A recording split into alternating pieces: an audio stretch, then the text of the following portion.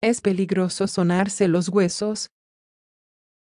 Si bien hay estudios que afirman que puede llegar a ser peligroso, tronarse los huesos llega a convertirse en un vicio, ya que mediante esta acción se nos relajan las articulaciones.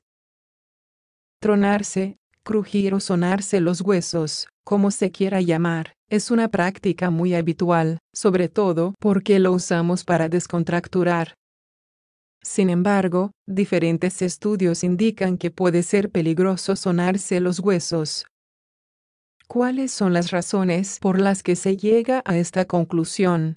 En este artículo, también podrás conocer qué es lo que ocurre al oír ese sonido tan particular.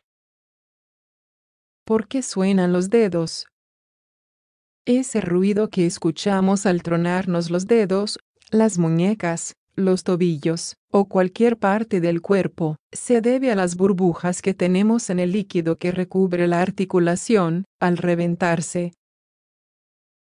Es bueno saber que las articulaciones son el lugar de contacto entre los huesos y están cubiertas por un líquido sinovial, espeso.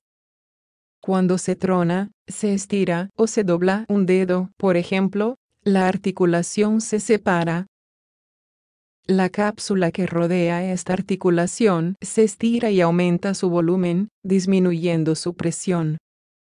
Cuando ocurre esto, los gases sueltos en el líquido sinovial forman burbujas.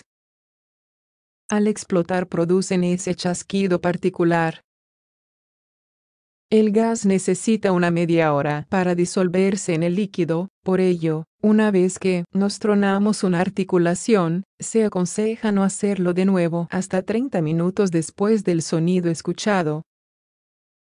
Riesgos de sonarse los dedos. En relación a los riesgos de este hábito tan común, cabe decir que no existen demasiadas investigaciones científicas, según se cree popularmente, el chasquido de las articulaciones, especialmente los nudillos, puede provocar daños en sus articulaciones, como artritis o artrosis. Pero esto no está contrastado científicamente. Lo cierto es que existe una movilidad superior después de tronarse los huesos y una relajación en las articulaciones. Por ello, mucha gente lo mantiene como una acción diaria. O bien, hay otras que suelen recurrir al quiropráctico, cuyo objetivo es ordenar o reacomodar los huesos para evitar tensiones. Los que asisten a este tratamiento se sienten más sueltos, flojos y menos contracturados o doloridos. Sonarse los huesos de los dedos causa desgaste muscular, algunos investigadores afirman que el desgaste muscular es la consecuencia principal de sonarse los huesos de los dedos, según algunos colegios de fisioterapeutas. Pero atención, este problema se cree popularmente que pueden sufrirlo personas que no realizan actividad física, pues es el único momento en que los músculos y las articulaciones se estiran.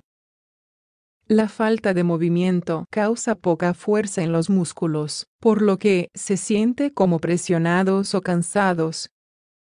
Así, se produce una especie de círculo vicioso.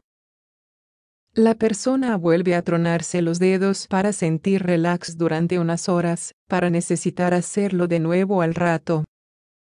Es frecuente que busquemos aliviar dolor o contracturas con ese movimiento, sin embargo, hay que tener en cuenta que es brusco, inconsciente y desequilibrado para nuestras articulaciones. Por otro lado, a diferencia de lo pensado, no libera tensión muscular, sino que derrama más líquido sinovial, el lubricante natural que evita el roce entre huesos. Por ello, provoca no solo desgaste, sino también más posibilidades de sufrir quebraduras o fisuras óseas, otras consecuencias. Otras de las causas popularmente se cree que son la rigidez, deformación de la parte lastimada y dolor excesivo que desaparece con el reposo. los que más sufren este problema son los adultos mayores de 40 años. Asimismo, las zonas en las que hay más desgaste por sonarse los huesos es en las manos, dedos y muñecas, y en el cuello. Aunque no existen evidencias empíricas que lo avalen. La mejor manera para evitar este problema es realizar ejercicio, siempre teniendo en cuenta la edad y el estado físico. La caminata o la natación son los más recomendados, las actividades que promuevan la fuerza muscular y la flexibilidad también son aconsejadas.